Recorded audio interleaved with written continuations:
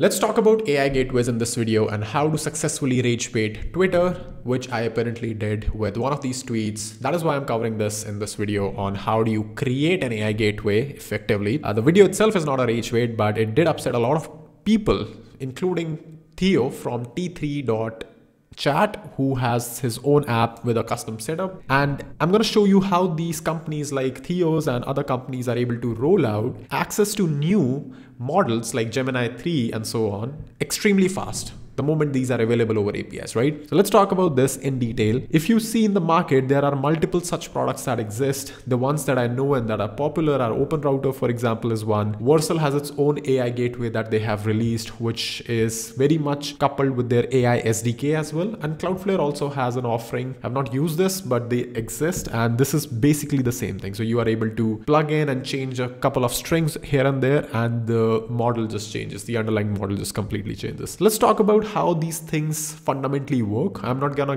go into a specific architecture. For example, Vercel use, might use different deployment techniques or deploy it somewhere inside their own infrastructure. Cloudflare might do it in a different way. But I'm gonna give you a general feel of how this thing generally works, right? So let's try to figure out, let's try to engineer this on our own, right? So see, AI gateway, which is a very fancy word of a reverse proxy, right? This is just a reverse proxy. There's nothing magical going on on AI gateway at all. Whatever you guys are calling this, whether that's Vercel, OpenRouter, or any of these, this is just a reverse proxy and reverse proxy have proxies have existed for decades, right? There have been systems like Nginx, like HA proxy, so many backend systems that have been there which do reverse proxy. You can write your own proxy systems as well. It's not a big deal. All right, but with specifically to AI gateway, like when we have AI as the keyword here, it involves a few more things, a few extra things. So let's talk about that. Now, first things first is that you have a client here, right? A computer, a application, an app or a mobile app or whatever, website or web app or whatever, which is supposed to use a specific model, right? So we have a lot of these AI models now. You have OpenAI as a provider, you have Anthropic as a provider, you have Google as a provider. And when I mention provider, I mean like the real companies that are making like real models, right? You have Mistral as a provider, you have, you know, I don't exactly know who owns Kimi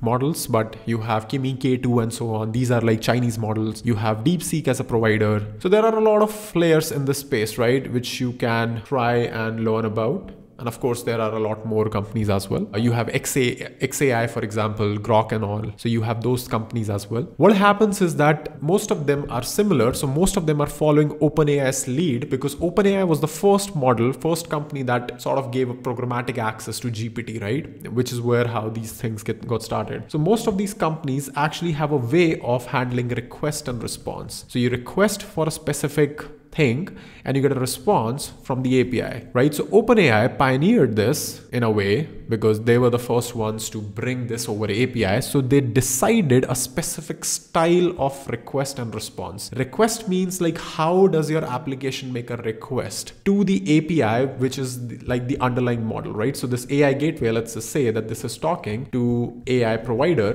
which is like underlying provider, which is Grok or OpenAI or any of these. And then this AI provider is internally configured in a specific way to accept request and in a specific way to respond as well. So let's look into one of them. Let's pick up OpenAI, for example. So if you look into this OpenAI, and if I switch to Curl, for example, which shows us like the real thing that's happening without the SDK magic, you see that this data that you pass over here. So you see that there is one model parameter that you're passing. Then you have a messages, which is an array, which has then a bunch of role and con content, role, content, and so on. So this is like an array which has a sequential order of what's going on, right? So this is one of the first variations of the one of the first API standards that OpenAI brought in, which is the chat API, right? This is the chat API, which a lot of these other model providers, by the way, also follow, right? So you'll see a lot of similarities in syntax, but not quite. Because a lot of these for example let's let's pull up another example. Let's take a look at claude for example. In case of claude you can see that the api is again somewhat similar to openai standard itself that you have a messages array which has a bunch of messages. But if i jump to the files api section for example let's say you want claude to analyze a pdf or something. So you see see that this architecture starts to split up a little. So now you have to upload the file first to Anthropic server, which will give you some object. And then you have to pass down that as a type document and source and type and file ID, right? So this is where the model starts, the API standards start to diverge because this is not a set standard or anything like that. If you look at OpenAI's standard for this, all right, or even better example is that if you look at vision, for example, images, in this case, you can see that Anthropic requires you to pass either a base 64 or a direct URL. That's also fine. You can pass that as well. But the type here is image. But in case of OpenAI, the type is image URL if you want to pass image URL. So you see that these distinctions starts to happen as you are building specific APIs for every single provider, right? So what this AI gateway does effectively is that it provides a normalization layer. So this is more than that. This is reverse proxy plus normalization layer. Now you might say that, hey, Mehul, why do we need a normalization layer as a separate system? right? This can obviously be part of just an SDK or something, right? Which is what exactly AI SDK is. So if you look at AI SDK, for example, from Vercel, this is basically that only. AI SDK is nothing but a normalization layer packaged as an application. But what you also might need, what is also helpful is that you also, if you have some stats on what's going on. For example, because this is a reverse proxy, this is sitting in the critical path of your AI provider and the end user, the end client, right? So what you can effectively do is you can sniff over here. So you can sniff on requests and responses. You can do a bunch of interesting things, rather, I should say. The first thing is that obviously you can see who's doing what for maybe analytical reasons. Second thing you can do is you can normalize, obviously, that is important. The third thing you can do is you can also rotate API keys or providers transparently right? So this is one of the interesting things over here is that this system, again, this can be part of the normalization layer itself, I would say. But what you can also do as a system or as a normalized system is that you can also have providers with their specific order of execution, right? So you might want to execute the query first with Gemini. If that doesn't happen, you want to fall back to Anthropic and then finally to ChatGPT because of whatever you have more credits or something. So this reverse proxy can help you do that. And last but not the least, this can also provide an analytics layer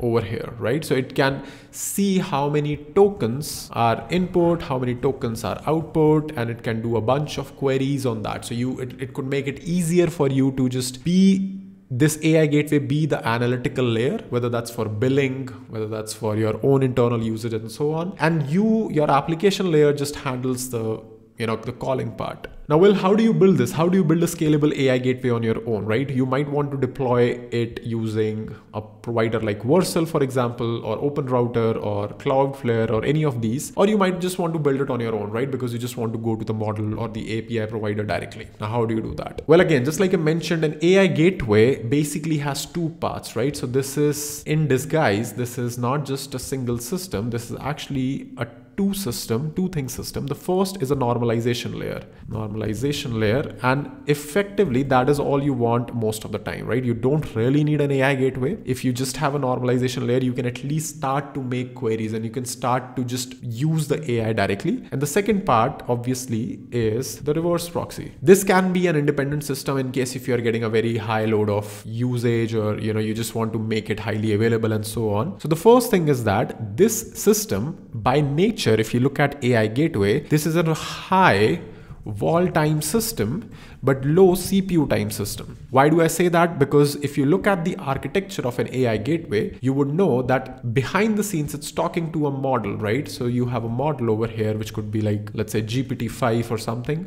This model takes a lot of time to think, right? So this would return in a few seconds of time, right? And it'll keep on streaming as well. So the first the time to first byte will be few large seconds and then you have to, you know, just stream that response back to whatever you are doing. So what happens is that if you are making this AI gateway serverless, you cannot choose a provider that charges you by wall time. That would be the death of your service and it will be the end of everything. So again, there are two options here to go serverless where you would deploy your gateway finally. And there would be obviously server full where you are managing your own servers. Making it server full in general is a different ballpark game altogether. So I would not talk about that because again, that comes with its own challenges of upscaling, health checks, all of that. So we'll focus on making this just serverless for now. So in case of serverless, the only two good providers that I know right now are Cloudflare Worker, which charges you on CPU time, and Vercel's new Fluid Compute, which also charges you on CPU time. Now, these two providers are the only providers that you should be using in a serverless environment, even though you can use systems like AWS Lambda. I would highly recommend not to use AWS Lambda because your bill would be extremely large because AWS Lambda, imagine that you, this model takes maybe like 10 seconds of time to respond back, right? And you then do a little bit of processing and it gets to 11 seconds. However, your actual work, the actual CPU time that you spent on this request was just 10 milliseconds. Cloudflare and Vercel's new fluid compute model will charge you only 10 milliseconds, but AWS Lambda will charge you for the whole 11 seconds. In fact, I strongly feel that is the whole reason Vercel's team actually decided that we need to, in order to win the AI race, we need to build a new model which charges on CPU time.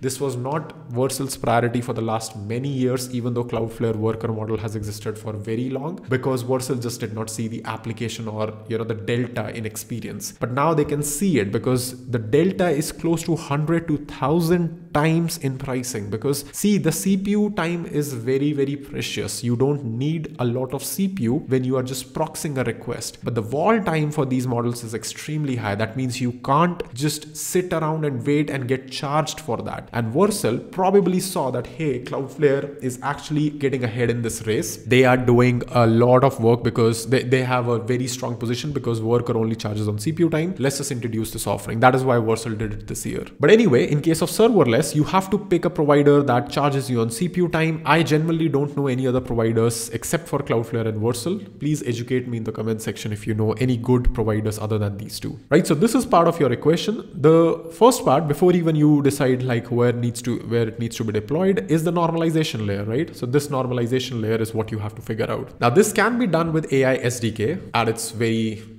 core but you can go all the way down and you can just you know just manually build it. I mean it's not a big thing. You just have to look into every platform that you are supposedly going to support in the coming future. Go into their curl request section. I would say avoid their python or node.js and all of that because see you will not be able to see anything. The http the raw request you'll only be able to see when you're using curl or any of these providers. And implement your sdk based on the format that these are accepting right? So you can build your own normalization layer and in fact, that is something that I have sort of realized is not a bad idea at all. Because if you look at, I mean, this could be like a really, really hot take, which I was not expecting to drop in this video, but let it be. But if you look at AI SDK, I feel that AI SDK is too bloated right now, right? And a lot of times, especially when your workflow gets complicated, that is what I've seen with Fermion. We have been implementing a, a complex workflow uh, with AI SDK. There are some bugs which could be skill issue from our side, but it could be also bugs inside AI SDK, especially version 5 with tool calling, function calling. It's buggy.